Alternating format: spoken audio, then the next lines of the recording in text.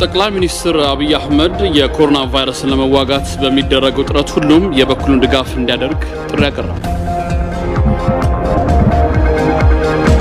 የኮሮና ቫይረስ የሚያደርሰውን ጉዳት ለመቀነስ የሚሊኒየም አዳራሽን የጤና አገልግሎት መስጫ አድርገው ለመጠቀም ዝግጅቶች እየተደረጉ መሆኑን የጤና ሚኒስትሯ ዶክተር ሊያ ታደሰ አስታወቁ።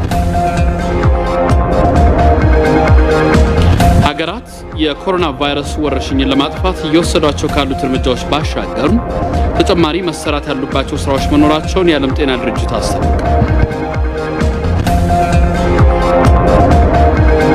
እንዲሁም በብሪታንያ አንድ የአራት ዓመት ህፃን ተመራጭ የቴሌቪዥን ፕሮግራሟን ተጠቅማ የሀገሯ ዜጋዎች የመንግስትን መመሪያ ተቀብለው ቤታቸው እንዲቀመጡ ጥሪ ያቀረበች የሚሉ ዜናዎችን አካት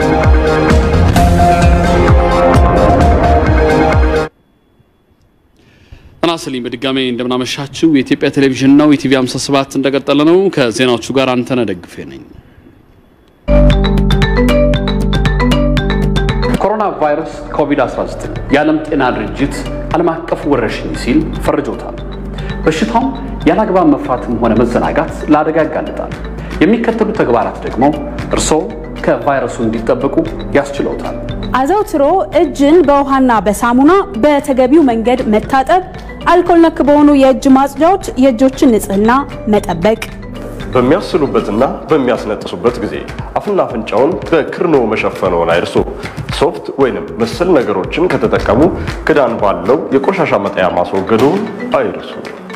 ሰላምታችንን ከንክኪና ከመጨባበጥ ነፃ ማድረግ ሳል አሊያም ደግሞ ማስነጠስ ያለበት ሰው ሲገጥመን ሁለት የአዋቂ እርምጃ ያህል ርቀትን መፍጠር። ትኩሳት፣ ድካም፣ ደረቅ ሳል፣ የአፍንጫ መታፈንና የጉሮሮ ህመም እንዲሁም የትንፋሽ ማጠር የኮሮና ቫይረስ ወይንም የኮቪድ-19 ምልክቶች ናቸው። እነዚህ ምልክቶች በእርሶም ይሁን በሌሎች በአካባቢው ላይ የሚገኙ ነዋሪዎች ላይ ካስተዋሉ፣ አጠራጣሪ ነገር ከገጠሙ፣ እርዳታ ካስፈለጉ አሊያም ስለ ቫይረሱ በቂ መረጃ ማግኘት ከፈለጉ በ8335 ወይም በ952 ነፃ የስልክ መስመሮች ላይ ይደውሉ።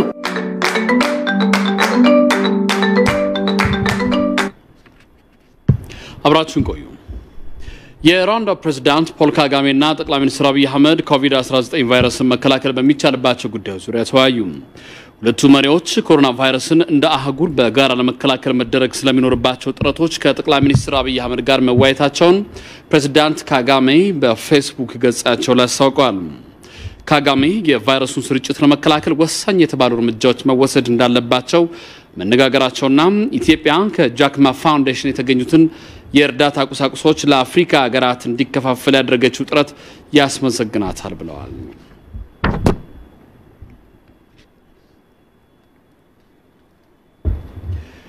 ጠቅላይ ሚኒስትር አብይ አህመድ የኮሮና ቫይረስ ለመዋጋት በሚደረገው ጥረት ሁሉም የበኩሉን ድጋፍ እንዲያደርግ ጥሪ ያቀረቡ ሁኔታውን ተቋቁሞ ችግሩን በድል አድራጊነት ለመወጣት ቅድመ ዝግጅትና መመሪያዎችን ያለማመንታት ተፈጻሚ ማድረግ እንደሚጠይቅ የገለጹት ጠቅላይ ሚኒስትሩ ለቅድመ ዝግጅቱ የገንዘብና ሌሎች አቅርቦቶችን የማሰባሰብ ሂደትን የሚያስተባብር ብሔራዊ የድጋፍ አሰባሳቢ ኮሚቴም ተዋቅሯል ብለዋል።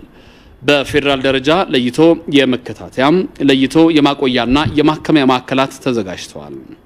ለዚሁም ቀጣዩ ስራ የሚያስፈልጋቸው ግብአትንም እንዲሟላላቸው ማድረግ መሆኑንም ጠቅላይ ሚኒስትሩ ጠቁመዋል። በመሆኑም ገንዘብ ለማዋጣት የባንክ ሂሳብ ቁጥሮችና የአጭር ጽሑፍ መላኪያ ስርዓቶችና አርሶ አደሮቻችንና የምግብ አምራቾች የምግብ አቅርቦቶችን መለገስ እንዲችሉ የምግብ ባንክም በመዘጋጀት ላይ መሆኑን ገልጸዋል።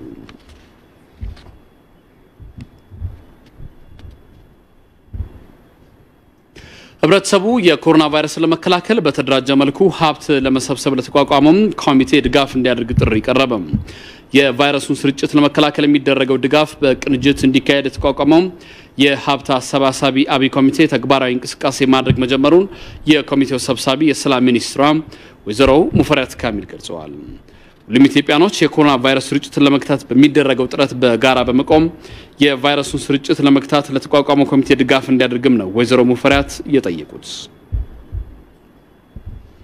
ትንሽ፣ ትልቅ፣ ወንድ፣ ሴት ሳይባል ሁሉም ያለውን በፍላጎት በፈቃደኝነት መስጠት ከቻለ አንዳችን ለአንዳችን አለን ማለት ከቻልን ይሄንን ችግር የማናልፍበት የማንወጣበት ምክንያት የለም ማለት ነው። ለዚህ የሚሆን እምቅ ማህበረሰባዊ እሴት አለን። ይህንን እሴት ጥቅም ላይ ማዋል ነው የሚጠበቀው ማለት ነው። ስራውን ከጀመርን ጊዜ ጀምሮ በተበታተነ መንገድ ህብረተሰቡ በራሱ ተነሳሽነት ሲያደርጋቸው የቆዩ ተግባራት አሉ። ለዚህ ትልቅ ምስጋናና አክብሮት አለን። ነገር ግን በተቀናጀና በተደራጀ መንገድ መሄድ ደግሞ ያገኘነውን ሀብት በአግባቡ ለመጠቀም ያስችላል። ለባሰው ችግርም ማዋል ያስችላል። ቅደም ተከተል አስቀምጦ ለመሄድ ያስችላል እና ኮሚቴው ሁሉንም አይነት አቅሞች የማስተባበር የማቀናጀት ኃላፊነት አለው ማለት ነው። የፋይናንስና የቁሳቁስ ድጋፎችን የሚያስተባብረው ኮሚቴው ለዚህ ተግባር በ13 ባንኮች በተከፈቱ አካውንቶች አማካኝነት ህብረተሰቡ ድጋፍ ማድረግ እንደሚችል ወይዘሮ ሙፈሪያት ተናግረዋል። የፋይናንስ ድጋፍ አንዱ ነው። የቁሳቁስ በአይነት የሚደረጉ ድጋፎች እንደዚሁ ሌላኛው የድጋፉ መገለጫ አይነት ይሆናል ማለት ነው። በዚህ መንገድ ከየአቅጣጫው ከየህብረተሰብ ክፍሉ በሀገር ውስጥም በውጭም የሚገኙ ዜጎቻችንን ደጋፊዎችን በማስተባበር የተቋቋሙት አራቱ ንዑሳን ኮሚቴዎች በየስራ ባህሪያቸው ተሰማርተው ይህንኑ ሂደት የሚመሩና የሚያስተባብሩ ይሆናል ማለት ነው። ትናንት ከተቋቋመ ጊዜ ጀምሮ ቅድም እንደጀመርኩት ሀሳቤን ወደ 13 የሚሆኑ ባንኮች ላይ አካውንቶችን ከፍተናል። ከተለያየ አቅጣጫ ከሀገር ውስጥም ከውጭም ገቢ ማድረግ የሚፈልጉ ወገኖች እነዚህን ባንኮች ምናልባትም በተጨማሪነት ቀሪ ባንኮችም ይኖራሉ። ሁሉም ባንኮች ላይ በምንከፍታቸው አካውንቶች ብቻ እንዲጠቀሙ በዚህ አጋጣሚ ለመግለጽ እንፈልጋለን። ሪፖርተራችን ቶማስ ኃይሉ እንደዘገበው ኮሚቴው ከተቋቋመ ጀምሮ ግለሰቦችና ባንኮች ድጋፍ ማድረግ መጀመራቸውን የኮሚቴው ሰብሳቢ ገልጸዋል። ማንኛውም ድጋፍ ማድረግ የሚፈልግ አካል ለኮሚቴው ብቻ ድጋፍ ማድረግ እንደሚገባው ወይዘሮ ሙፈሪያት ገልጸዋል።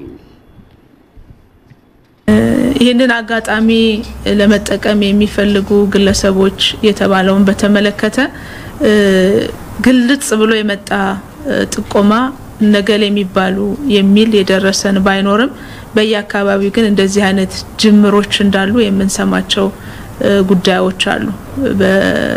ግልጽ ነው። ያው ህገወጥ ስለሚሆን እርምጃ ያስወስዳል ማለት ነው። ህጋዊ ሆኖ የተቋቋመ አካል እያለ በጎን ለሌላ purpose የሚሄድ አካል ካለ የሚከተለው ተጠያቂነት ነው ማለት ነው። እኛ ዋናው የፈለግነው ህብረተሰቡ የመስጠት ፍላጎቱ ከፍተኛ ነው። የማገዝ አብሮ የመሆን ፍላጎቱ ከፍተኛ ነው። ይሄንን አጋጣሚ አላግባብ የሚጠቀም ግለሰብም ሌሎችም አካላት እንዳይኖሩ ግንዛቤ ወስዶ የራሱን መከላከል ስራ እንዲሰራ ማድረግ ስለሚያስፈልግም ጭምር ነው። በተጨባጭ እንደዛ አይነት ጥረቶች አሉ የሚል ሰምተናል። እገሌ ገሌ የሚባል የሚለውን ባገኘን ጊዜ ግን ያው የሚመለከተው አካል እርምጃ እንዲወስድ ማድረግ ይኖርብናል ማለት ነው። የኮሮና ቫይረስ የሚያደርሰውን ጉዳት ለመቀነስ የሚሊኒየም አዳራሽን የጤና አገልግሎት መስጫ አድርጎ ለመጠቀም ዝግጅቶች እየተደረጉ መሆኑን የጤና ሚኒስትሯ ዶክተር ሊያ ታደሰ አስታወቁም። ወረርሽኙ ሊያስከትል የሚችለውን ጉዳት ለመቀነስ የተለያዩ የቅድመ ጥንቃቄ ስራዎችን ለመስራት የሚያግዝ ገንዘብ በተለያዩ ተቋማት ድጋፍ እየተደረገ መሆኑን ገልጸዋል። ነጻነት ወርቁ ተጨማሪ አላት። የኮቪድ-19 ወረርሽኝን ለመከላከል ህብረተሰቡ በንቃት በባለሙያዎች የሚመከሩ የጥንቃቄ እርምጃዎችን ሊተገብር እንደሚገባ የጤና ሚኒስቴር አሳስቧል። በኢትዮጵያ ወረርሽኙን ለመከላከል በመንግስት የቅድመ ጥንቃቄ ስራዎች እየተሰሩ እንደሚገኙ የገለጹት የጤና ሚኒስትሯ ዶክተር ሊያ ታደሰ ማህበራዊ ርቀትን መጠበቅ፣ እጅን በአግባቡ መታጠብ፣ ፊትን በእጅ አለመንካት እንዲሁም ለአስፈላጊና ለአስገዳጅ ሁኔታዎች ብቻ ከቤት ወጥቶ መንቀሳቀስ እንደሚገባም ይመክራሉ። ኮቪድ-19 የመሰራጨት መጠኑ ፈጣንና ከፍተኛ በመሆኑ የመንግስትና የግል የጤና ተቋማት ዝግጁ እንዲሆኑ እየተደረገ መሆኑንም አስታውቀዋል። ችግሩ ቢስፋፋ ያንን መቋቋም በምንችልበት ደረጃ በርካታ የጤና ጣቢያዎችንም ሆስፒታሎችንም የማስፋት ስራ አሁን መጀመሪያ የተጀመረው የካኮተቤ ሆስፒታል ሙሉ ለሙሉ ለዚህ ስራ እንዳለ ሆኖ ቅዱስ ጴጥሮስ፣ ቅዱስ ጳውሎስ ሆስፒታልም ራሱን የቻለ ለዚህ ብቻ ቦታዎችን የሕክምና ቦታዎችን ለይተዋል። ሌሎች ሆስፒታሎችም የተወሰነ የመለያ ለይቶ ማቆያ ማዕከላትን እየለዩ ነው። ከዚህም ባለፈ ችግሩ በጣም በከፍተኛ ደረጃ ቢመጣ ተዘጋጅተን መጠበቅ ስላለብን አሁን ችግሩ ከመጣ በኋላ መዘጋጀት ስለማንችል የሚሊኒየም አዳራሽንም ወደ ሕክምና መስጫ ማዕከል ለመቀየር ስራዎች ተጀምረዋል። ይሄ ደግሞ በአዲስ አበባ ብቻ ሳይሆን በክልሎችም በሙሉ ለይቶ ማቆያና ሕክምና ማዕከላት እየተዘጋጁ ነው።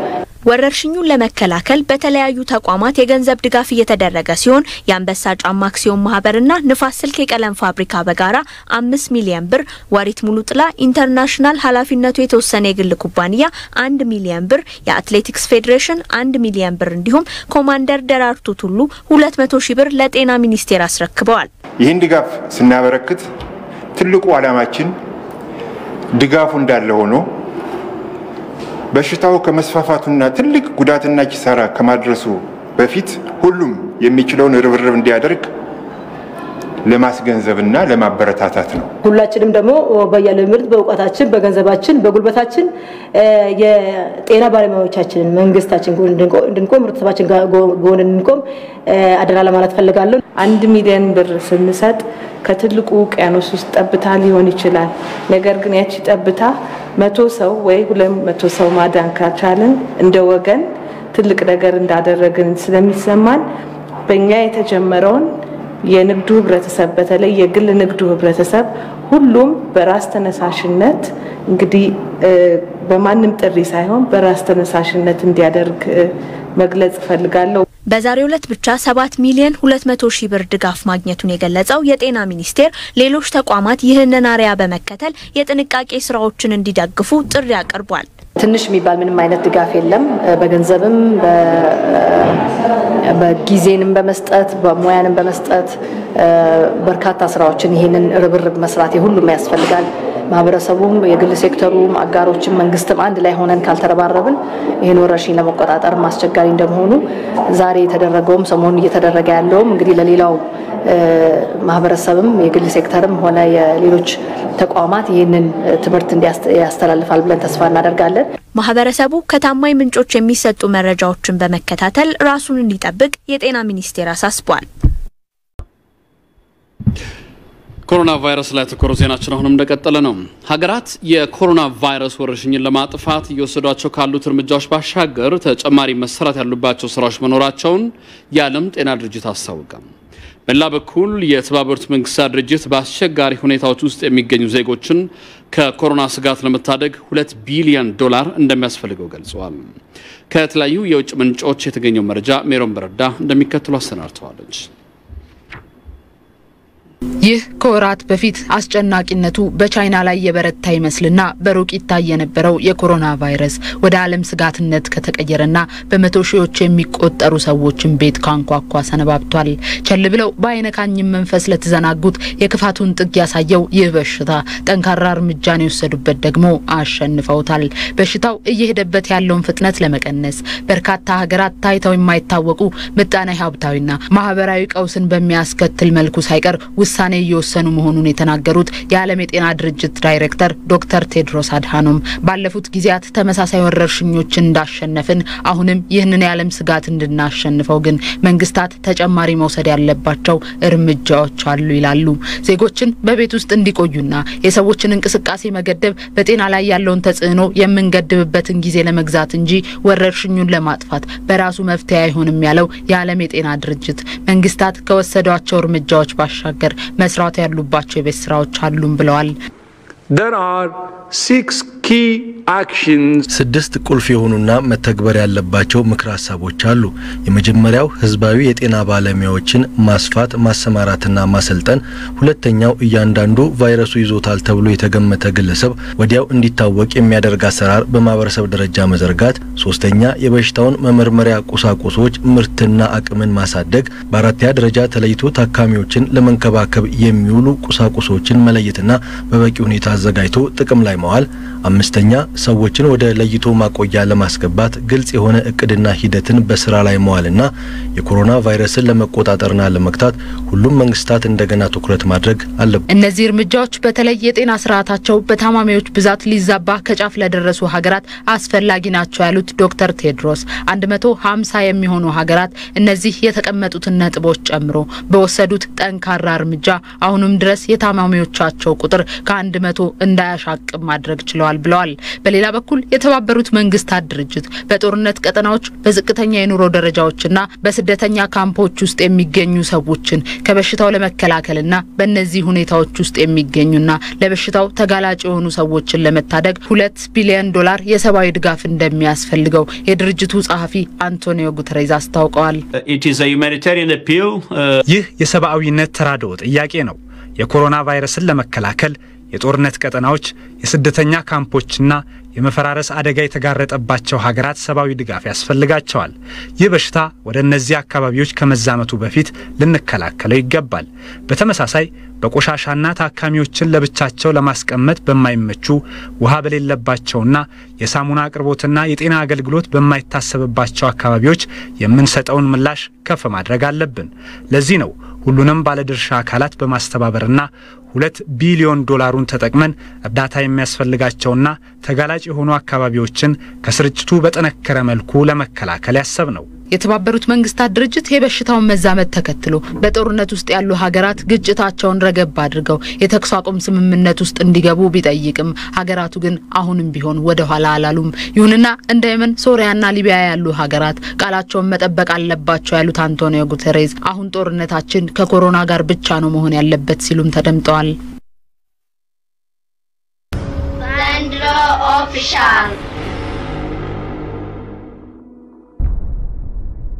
Zandro, official